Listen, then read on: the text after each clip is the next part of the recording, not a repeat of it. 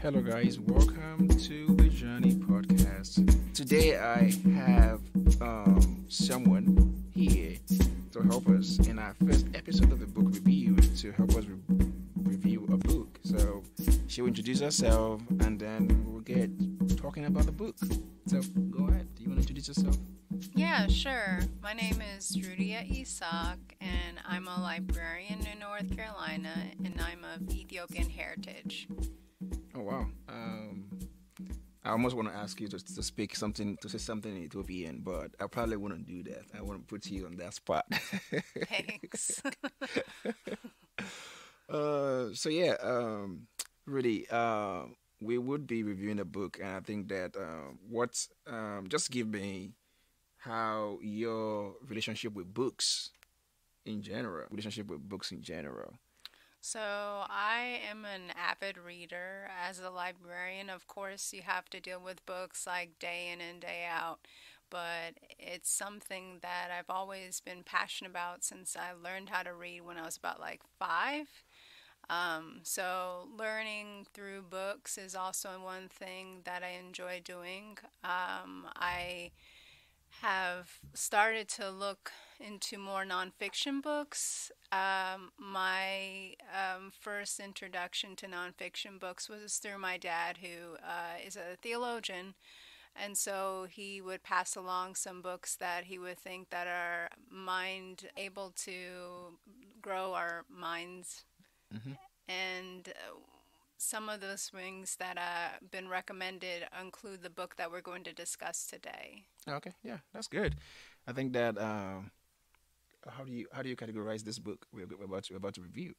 I would categorize it as um, just a, a thoughtful discussion on what intellectualism is to Christians. So it's it's more like something to that's thought provoking than something that not so much you're given a whole bunch of information that nonfiction books tend to give you without um, really grasping like hey this is something that you may have already known but i'm just going to give you some insight on why you know that hmm So yeah, um, so quickly, can you just introduce our book?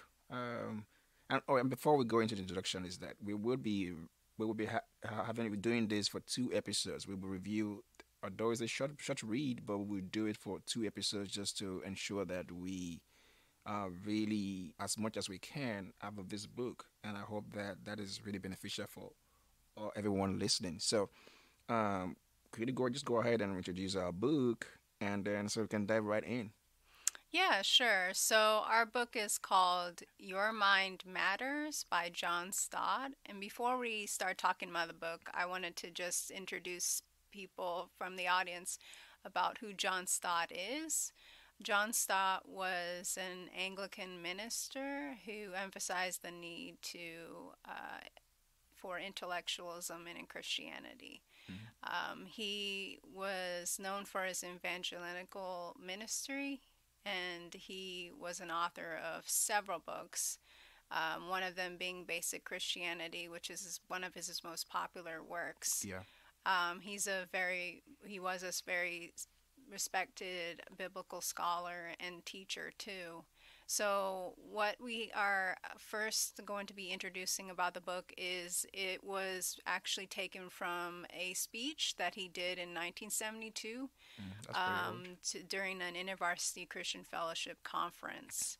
So the purpose of the speech was to explain how critical thinking should go hand in hand in uh, ritualism, activism, and your experience, your Christian experience. So uh, one thing that he goes into detail in and is mainly the the meat of the book is these six traits of a Christian walk. So the th- first couple of them are worship, faith, and holiness, and that's where we're going to break up our first and second episode. The next episode we'll be talking about guidance, evangelism, and ministry. Yeah. Thank you. Thank you for that brief introduction. I think um, also is that the reason why we're actually starting with the John Stott book on uh, intellectualism is just because we want to encourage us to read. Like I said earlier, uh, part of um, we having a big category of um, reviewing books on our podcast is just for us to be able to read. Uh, I think that um, there's so much that we could get out of books, and I think that we we sometimes being Africans just uh, rely on um, people telling us um, what they know, what they read, and we, we will sometimes even quote them verbatim without have, having to know where the sources are from. So yeah, we are hoping that we encourage after this um, series of episodes on book reviews to get ourselves to start reading. And if you're reading before, read more. And if you're not, you can start with a small book like this. This book is really small, according to, I mean, that is quite relative. So, well, but it is a small book. It's less than 100 pages, so it's a small book. Yeah, go ahead. I mean, um, should we dive into the first chapter of the book, or what do we, or maybe the foreword? I actually like to read the foreword of books. I sometimes find it really, sometimes it just helps for, it gives like a summary of the book. So go ahead. What would you say about the foreword of the book as you read?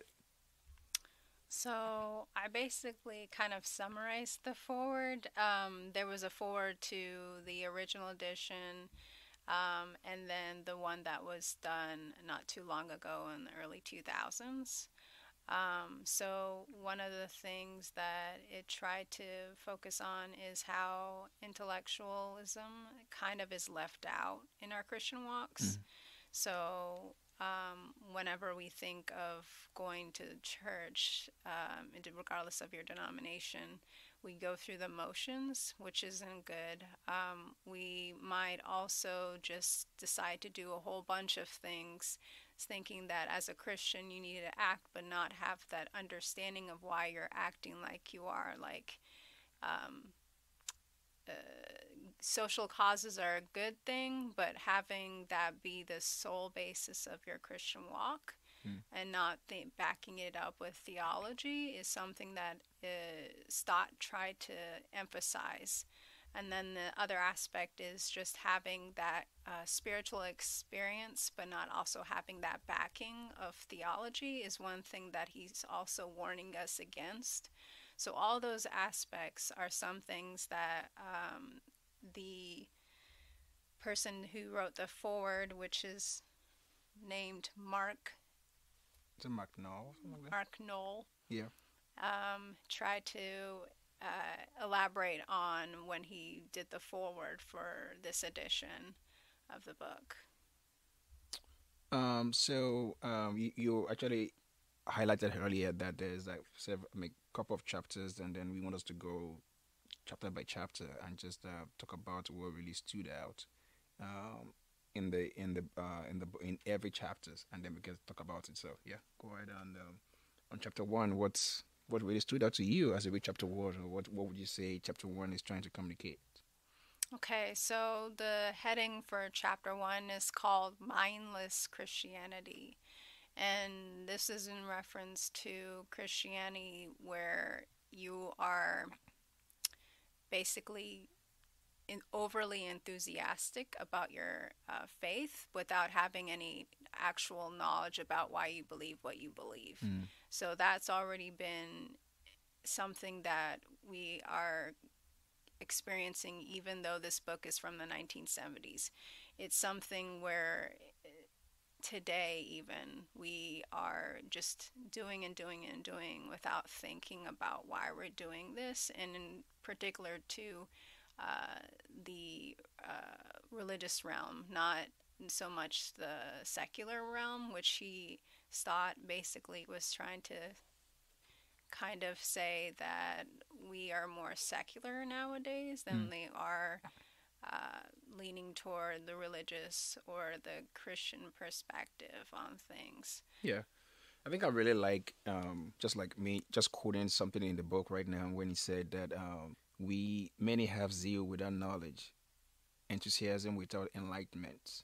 Now I think that uh, sometimes it's like, I mean, I, I might be, I, I probably I, am also guilty of this. There, there were times in my life that I do things out of the zeal um, of doing it. And then if anyone asks me, why, why are you doing this? It's like, I can't even tell you why I'm doing it. Sometimes it's very, it's just, out of tradition It's like because this is our ch- church's tradition, this is our church's doctrine, and I can't explain why some of these things, uh, what it means.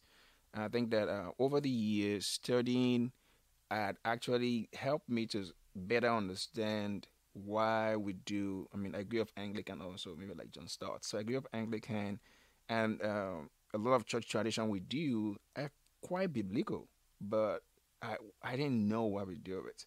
I didn't. I can't tell anyone why that is biblical in any sense. In fact, if someone had actually uh, really probe what I believe, I probably would have struggled a whole lot because uh, I didn't have a basis for uh, the defense of what I believe. There's no biblical uh, backup for me to explain that. Oh, this is why I believe what I believe. Um, so yeah, I think um, yeah, that's a great point. Is that it's not just zeal. It's not just having zeal, um, but also is that is our zeal is is it is it an enlightening zeal? Is it is it zeal backed up with knowledge of uh, what we believe and why we believe it? So yeah. Yeah. Um, and then further on into the chapter, um, he emphasizes that um, sometimes intellectualism is viewed as something that goes against our uh, belief in Christ. So basically, that if we try to intellectualize it, uh, sometimes our pride gets in the way that we're like, oh, I know how to do this, or I know something about the faith, which maybe seems condescending to other people. Mm. Um, and so we're when I mean we're, I mean like Christians in general might see that intellectualism has no place in the Christian faith.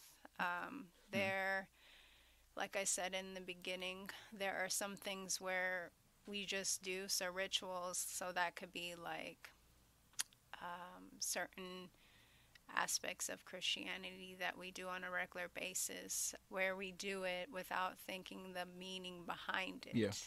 The symbolic representation of the body of Christ and the blood of um, Christ. Yeah. So we're doing it just because, oh, we, you know, this is something that we do every month in church. So Yeah. we're going to have to just eat the bread and drink the juice and leave it at that, where we don't think about what Christ has sacrificed.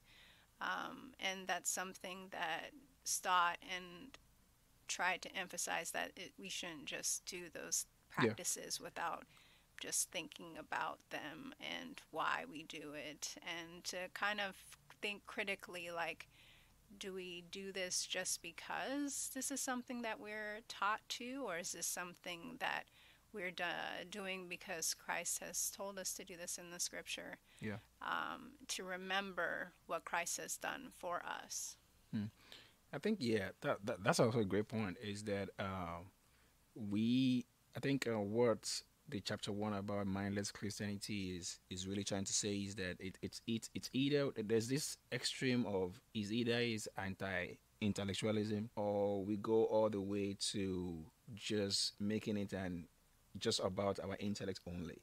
So um, it's like I think he's trying to put put pull us in the in the middle of having the balance between like Christianity is not just uh it's not anti intellectual, but also it is not all about oh how much do I know. It's like there, there, there should be that balance between uh, what we know and then um and then the zeal and the emotions like well, should be that balance how does it tie together we should have that um, kind of robust or holistic um, kind of christian experience and not just oh it's all about feelings or no it's all about head knowledge so yeah i think i really like that part too go Okay.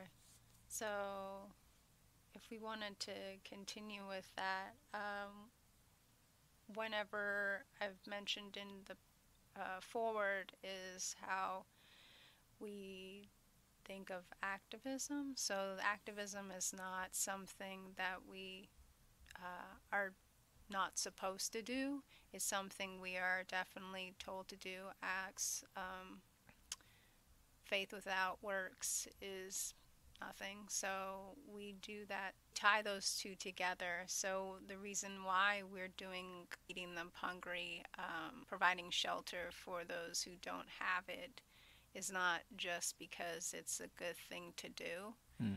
It's something that we're instructed to do in the Word, and it's it's not just something we're just passionate about without thinking why are we passionate about this like is it just because the society tells us this is the right thing to do or is it something that God ordained us to do as um, Christ followers? Because we should be able to be compassionate to uh, those who are in need.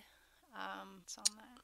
What you're trying to say is just that we, we should, um, uh, there should be, our motivations for doing what we do should be out of not just this is cool to do. Is that it is it, it should be it should be born out of the um, of knowledge of okay this is what we have been commanded to do we have been saved for good works. So if we are doing those good works, we should not be it should not be mindless good works. We are doing good works in response to how God has loved us, what has done, what He has done for us, and then uh, good works is coming out of that place. And I think that um, if I get what you're trying to say, I think that's what you're trying to say is that we're doing good works, but our good works should be coming out of a place of knowledge, understanding that this is why we do what we do um, it's not just an act of just doing charity and just doing whatever we feel like is cool or it's just yeah to do i agree um, so the last point he kind of emphasizes is how experience is something that are not told not to do. Um, so, something that could be an example of experience is a spiritual experience. So, that's not something to take for granted. It's something that we're supposed to kind of in, not just experience something that's spiritual, but like have the understanding that there's a reasoning behind it, there's a rationale behind it, that God has some kind of ordained purpose for that mm-hmm. experience. Um, it's not something that just comes out of nowhere and we just blindly uh, say like, "Oh, I have this spiritual experience, and I don't know what to do with it, but it's it's something that happened to me." So we're doing something a little bit more. Um, that's what Stott was trying to encourage that we should have not just a spiritual experience, but something that we can kind of d- deep dive into it, like why we're why we're experiencing this, um, what God has to say about this situation um, and if we can find uh, further meaning behind it. Um, I think, like you said, uh, is that we should be able to create, or uh, I mean, we should be able to pick up a course and really knowing the purpose, and uh, we should have zeal. We should not have zeal without knowledge. Is that what you're saying? Mm-hmm. Yeah. Okay. All right. Um, yeah. Do you want to go to chapter two? Just run quickly. Yeah, so chapter two is entitled Why Use Our Minds. So Christians use their should use their minds because their thoughts shape their actions. Mm. Um, one of the things that the book dwells into is these three uh, concepts, four actually, four concepts that um, all lead to the fact that people should act on what they're thinking on. So they, so intellectualism is good on its own, but it's not an end to the. It's not the end. Once you um, learn all, well, you don't learn everything, but once you learn something, you should be able to do something with that knowledge, mm. not just have it sit in your mind and say, "Oh, this is great. I learned something new," but do something with it. Yeah. Um, I think it's it's it's kind of I mean saying that it, it sounds like um, even the way we it, it, you're saying that it's possible that for us to just amass knowledge for the sake of it uh, rather than doing something with it because sometimes we in, in our culture we find people amassing wealth for the sake of wealth is that you just keep things for yourself sometimes we look at our closet and then we just have so many clothes there for the sake of having those clothes so is that um, so we could actually do that to knowledge too. We can actually keep acquiring knowledge for the sake of having the knowledge and do nothing about it. Is that what you're trying to say? That we should do something with our knowledge, not just like the way our closet is looking or the way we just our bank account is looking is that hey sometimes it's like we are learning what we are learning we are having the privilege of having information or the knowledge we have to be able to do something about it, not just sit on it. Yes, yes, exactly. Um, so as they as it goes further on in the text, uh, we find that there are four aspects. Um, one is creation, so he deep dives into creation. The other is revelation. The other one is redemption, and the last one is judgment. Mm. Um, so with creation, uh, we are shown that Christ uh, or that God um, has created the world and that we should be in awe of it. Mm. Um, and we are humans that are able to rationalize, and some things that um, in the world that are creatures basically. There's a difference between people and creatures. Creatures are not able to intellectualize. They're not able to rationalize as we are. So we're thinking of that in creation um, when we are relying on the emotional aspects, we tend to get more instinctual and we tend to vary into the more creature aspects, not the um, rationalized human. So emotions are not bad, but if we just use that as our way to go about the world, uh, it would be a mess, basically. The next part is revelation. So, God has revealed himself to humans to show how important the mind is. Um, basically, not just that he made creation, but also that he has told us that. Um, how important their mind is. So to say that we acknowledge that God as the creator is good, but if we're not able to process what he has made in nature, then that is not using our God given mind. Because uh, God uses that understanding of our processes of what nature is to um, reveal himself through it. Uh, the next part is redemption. Mm. So uh, humans, um, they're being allowed to have renewed minds. So God redeems us by letting Jesus die on the cross for our sins. Sins. So in that sense, um, He was redeemed us. We're sinful, but yet He to chose to have Christ die on the cross for our sins. Um, the last part is judgment, um, where God will judge us based on our knowledge and what we say to his revelation. So uh, we have um, back in the biblical um, past, Israel did not listen to the word of, of God. It basically was um, something that the people were told to listen to the prophets, and when they didn't listen, it was something that emphasized how sinful we are. Um, but we need to come to Christ in humble hearts and be able to understand that um, God wants us to use our minds and not just be uh, controlled by our emotions. Um, and then also that the role of the Holy Spirit is also emphasized in this chapter. Um, he wants us to know that uh, God wants us to know that we can grow in knowledge and that the Holy Spirit will move within you and and kind of inspire you to to learn more.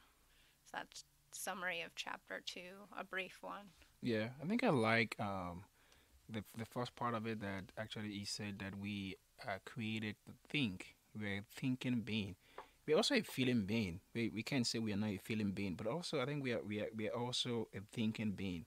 I think sometimes we forget that part, or we overemphasize the feeling part of us and forget the, the thinking part of us. And I think our faith it shouldn't be without the aspect of our thinking. God has chosen to reveal Himself in the in words, in the text of the scriptures. And I think that if He, if even though, even even even, even the unlearned can still understand that part is that they, even though they might not have the academic um, knowledge or, educa- or education like that, but is that it doesn't mean they cannot still understand scripture. So I think that we are we are created to think we are thinking being, and I think that um, our thinking faculty, because that is God actually uses that way also to communicate to us, not just our feelings only. Um, so yeah, thank you for that. I think. Um, how about chapter three? We are moving really fast, but yeah. Okay, so chapter three is the meat, as I like to say, of the book. It's called The Mind in the Christian Life. So this is where we go back to the six six aspects of a Christian walk. So um, they are just to rephrase them: are worship, faith, holiness, guidance, evangelism, and ministry. So we're going to break it up. Um, we're going to talk about worship, faith, and holiness for this session. And then later on, we'll talk about guidance, evangelism, and ministry. Mm-hmm. So, with worship, the definition of worship is basically praising God. So, there, dis- there are different ways in which you praise God. Um, but one thing that is important to know is that a sign of worship during eh, the sign of good worship, I should say, is that we use our minds. So it's not just praising God without thinking about, hey, why are we praising God? Not to be uh, either way. Um, so we praise Him for all that He's done for us. Mm-hmm. So one thing that we praise is that uh, He has made us. He has made uh, humans. He has made uh, creatures nature, all these things that He has gave to us because He promised it to us. Um, and then He has also has created people not just all the same. He's created people with different intellects, um, different walks of life. Uh, those we are called to praise all that is um, created by Him and also to remember that he is an all-loving God and I think I think I think you're right about that. Is that it, just like Ephesians five seventeen says that therefore do not be foolish, but understand what the Lord's will is. So that how can we know? How can we praise? How can we worship God well? How can we worship Him uh, the way He wants us to worship Him if we don't know what His will is? So I think uh, that kind of really like underscore what you're trying to say about this that there must be an understanding even in our worship. We we need to know why we are doing what we are doing. And I think that how can we know if there's no knowledge part of it? Uh, if our mind is not enlightened to know what God really requires of us in worship and all that. So. Mm-hmm. Mm-hmm. Yeah, I agree. And then a sign of true worship, not just uh, praising for the praise of it um, is that we incorporate prayer to it. Mm. Um, so prayer and worship work together in order to engage our mind. So we're using different forms of uh, or aspects of worship in order to make sure that our intellect is being used. Um, I guess we can move on to faith. Uh, this one is something that seems like it's mindless, like we, or not mindless, but um, just blind faith. Like we are just believing and not having anything based on that faith. So, in that sense, faith and reason um, are assumed to be complete opposites, which is not the case. Um, it is a reasoning trust based on how um, a trustworthy the God is.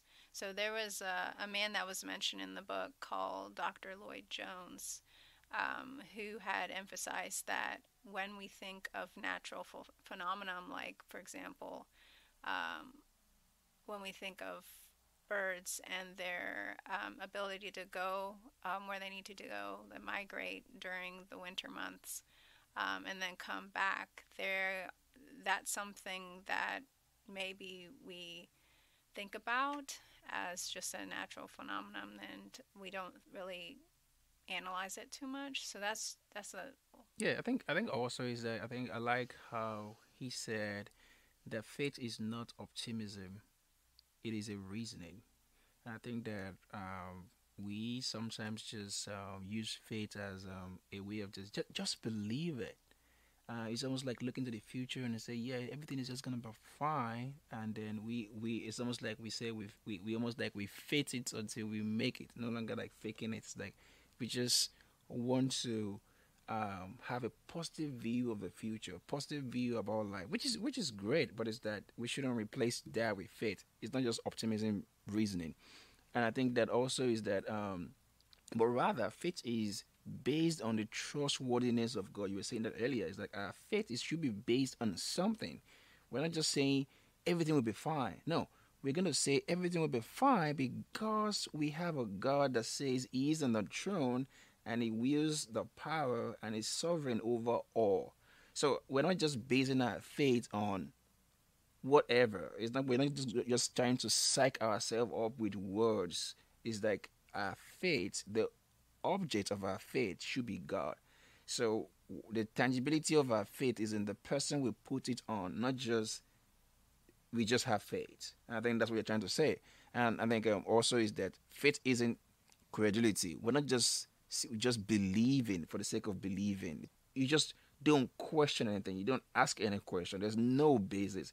Rather, God is not calling us to a life of worship or life of faith without basis. It's like he has revealed himself in the scripture. He has Jesus. I mean, he's an not not just he's an historical figure that we can go and read about. So all that are together is like our faith is not baseless. It's not just optimism. It's not just oh we just believe because eh, oh yeah we just believe it. No, it's like there's there's basis for what we believe, and we should be able to express that also. I agree. So we can move on to the last point. The second, the third point is about holiness. Mm. And so for this one, it's one that I struggle to interpret. Um, I know of the holiness of God, that's not any question. Mm. But when we think of how we're supposed to strive to be holy, that's something that I tend to not grasp as quickly as knowing that God is holy. Yeah. Um, so we need to remember that who we are in Christ, that we are not just um, His creation, but that we are His heir. Yeah. So guys, um, we still have a whole lot more uh, to talk about, but we are trying to keep our podcast really short. So as we promised. Um, the next episode, we would continue to talk about um, Your Mind Matters by John Stott. Thank you guys for listening, and then we will see you next time. Bye.